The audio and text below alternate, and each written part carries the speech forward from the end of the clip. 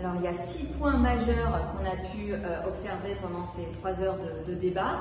Premier point, tout ce qui a trait à la transformation. Hein. quand on parle euh, de l'industrie à impact, c'est quoi? Ça implique une transformation de l'existant et aussi la création de nouvelles industries. Euh, un deuxième élément extrêmement clé, c'est l'industrie circulaire, qui est une manière de faire en fait tout au long de, des étapes de vie d'un projet ou d'un produit. troisième élément extrêmement important, le territoire. on l'a vu, hein, c'est euh, l'acceptation, l'attractivité euh, au niveau des élus et l'ancrage territorial euh, de l'industrie à impact. Quatrième élément extrêmement clé, l'innovation.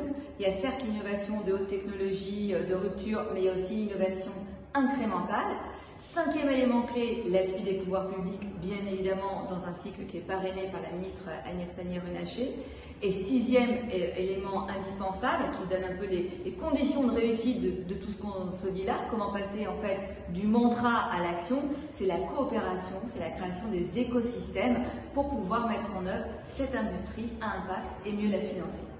Aujourd'hui, il y a les conditions quand même d'un euh, consensus qui sont en train de, s'établir, puisqu'on voit qu'il y a en même temps les pouvoirs publics au niveau national, les élus locaux, les investisseurs, euh, tout un écosystème aussi en termes de, formation pour donner encore plus d'attractivité à l'industrie, pour que les jeunes puissent aussi se lancer, être fiers en fait des formidables euh, activités industrielles et du patrimoine qu'on a déjà en France et des forces qu'on a notamment en matière d'industrie circulaire et en tout nous, c'est ce qu'on accompagne au French Impact. On accompagne, on anime un écosystème de 700 projets à impact partout sur le territoire et on aimerait d'ici 3 à 5 ans faire x10, rien que ça.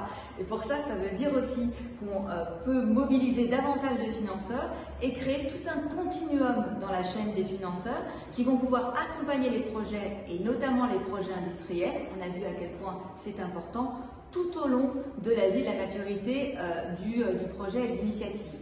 Donc il y a les fonds d'impact investing, mais avant ça, il peut y avoir les fondations d'entreprise, les dispositifs publics, le crowdfunding, les business angels, et après les fonds d'impact investing, à, tous les niveaux, à l'amorçage, au développement. c'est extrêmement important de donner de la lisibilité euh, aux entrepreneurs industriels, car la temporalité n'est pas tout à fait la même que dans la pure tech.